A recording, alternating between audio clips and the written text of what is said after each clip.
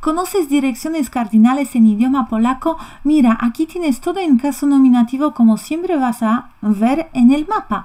Północ, południe, wschód o zachód.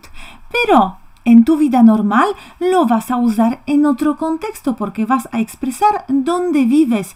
Mm, por ejemplo, na południu miasta, ¿no es cierto? En el sur de la ciudad o quizá kraju, entonces país o quizá continentu. ¿No es cierto? Entonces aprendemos las estructuras que vos vas siempre a usar. En este momento está bueno conocer caso nominativo, pero siempre vas a pronunciar na południu na wschodzie, na zachodzie, na północy i combinar con la ubicación que necesitas, miasta, kraju, kontynentu. Escribame dónde vives,